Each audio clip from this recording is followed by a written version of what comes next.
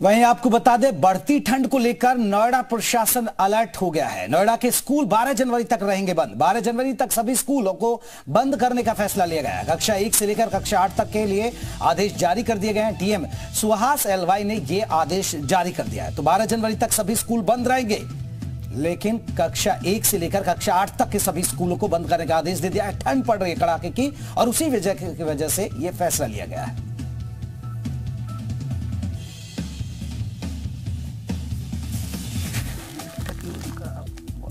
पूरा नहीं हो रहा था सवाल बेचारा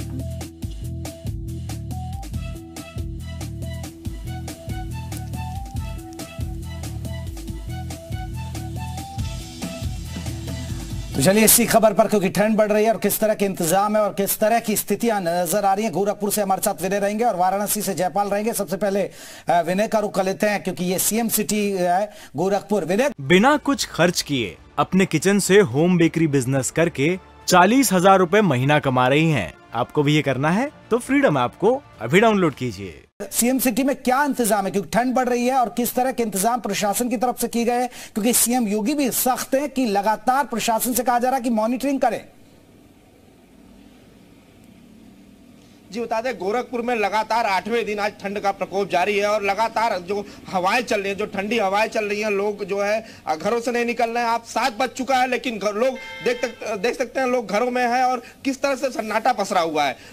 हालाँकि नगर निगम 140 स्थानों पर अलाव की व्यवस्था के दावा कर रहा है, लेकिन ये दावे लगातार फेल हो रहे हैं, लोग इससे नाराज़ हो रहे हैं, अलाव की व्यवस्था पुख्ता इंतज़ाम नहीं किए गए हैं नगर निगम की ओर से। और एक मामला अभी शुक्रवार की रात का है जहाँ अलाव भी चोरी हुआ है, जिसको लेकर पुलिस जाँच कर रही है। एक दुकानदार जो है राजघाट थाना क्षेत्र में एक दुकानदार अलाव अपने दुकान के सामने जलाया हुआ था और बाइक सवार पहुँचे और वो अलाव की चोरी करके फिर वहाँ से निकल गए, जिसके बाद वो थाने पहुँचा और शिकायत की, जिसके बाद पुलिस सीसीटीवी के आधार पर उसकी जाँच कर रही है और उस आरोपी को तलाश में है। और लगातार जो ठंड का प्रकोप जारी है और यहाँ जो है, हालाँकि जो जो आश्रय स्थल है, वहाँ जो है, सभी को कंबल दिया गया है, वहाँ अलाव की व्यवस्था है, लेकिन और जो सार्वजनिक स्थल है, वहाँ अलाव की व्यवस्था नगर निगम की ओर से नहीं दिखी जा रही है। तो देखिए, इस वक्त विनय, ये जानकारी साझा कर रहे हैं, गोरखपुर से अपडेट दे रहे हैं। और हमारे साथ इस वक्त जयपाल भी काशी से जुड़े हुए हैं। जयपाल, अगर काशी की बात की जाए तो वहाँ पर किस तरह की तैयारी आप देख रहे हैं ठंड को लेकर? क्योंकि सीएम भी सख्ती बढ़ते हुए हैं। हाल फ़िलहाल में भी सीएम की तरफ़ से निर्देश जारी किए गए हैं कि निराश्रितों को भी किसी तरह की कोई दिक्कत ना आने पाए। तो वहाँ से क्या अपडेट है? देखिए, आकांक्षा, अगर आपको बनारस की बात कहें तो बनारस में इस वक्त ठंड का कहर जारी है, भीषण ठंड पड़ रही है और आर आज जो है कोहरा भी भयंकर है। ऐसे में आज जो है, आठवां दिन है, यहाँ पर भगवान सूर्य के कुछ छिटपुट दर्शन ज़रूर हुए, कुछ चटक धूप कभी हुई, कभी बदली, जो है, वो छाए रही। लेकिन अगर नगर निगम की व्यवस्था की बात करें तो यहाँ रैन बसेरा जो है वो ठीक ठाक कंडीशन में ज़रूर है, लेकिन अलाव की व्यवस्था एक जगह पर जलाने का दावा किया गया और रात में जब हमने निकलकर पड़ताल की तो बमुश्किल उनतीस जगह भी मिलना जो है दूभर दिखाई दिया।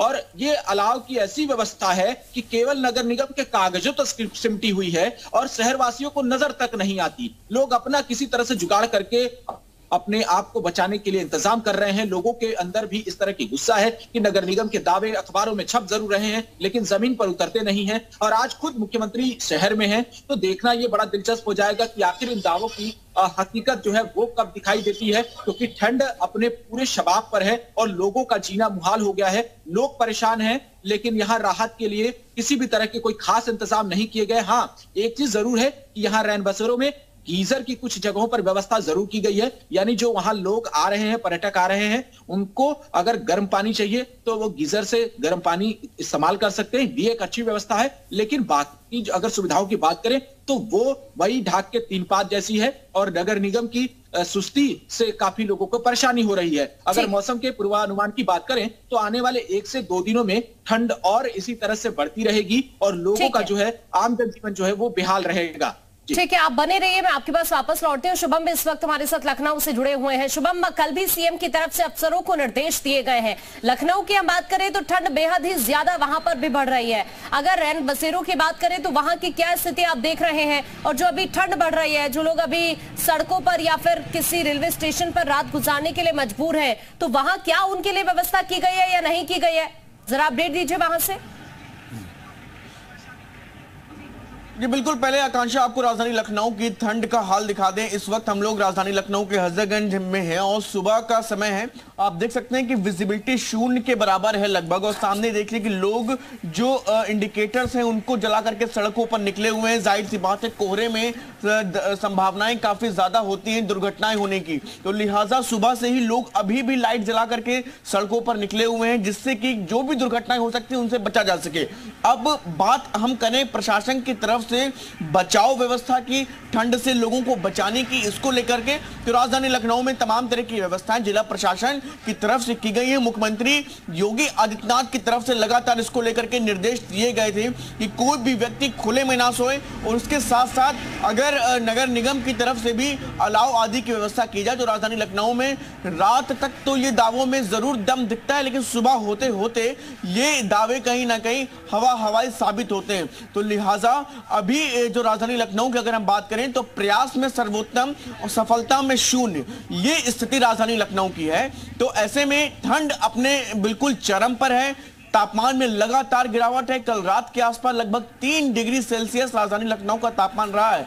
ऐसे में हाड़ कपा देने वाली ठंड राजधानी लखनऊ में पड़ रही है। और मौसम वैज्ञानिकों की अगर बात करें तो आने वाले दिनों में भी किसी भी तरह से ठंड से कोई राहत की उम्मीद नहीं है। बिल्कुल, यानी अभी आने वाले दिनों में राहत की उम्मीद नज़र नहीं आती है और बिना कुछ खर्च किए अपने किचन से होम बेकरी बिज़नेस करके चालीस हज़ार रूपए महीना कमा रही हैं। आपको भी ये करना है तो फ्रीडम ऐप को अभी डाउनलोड कीजिए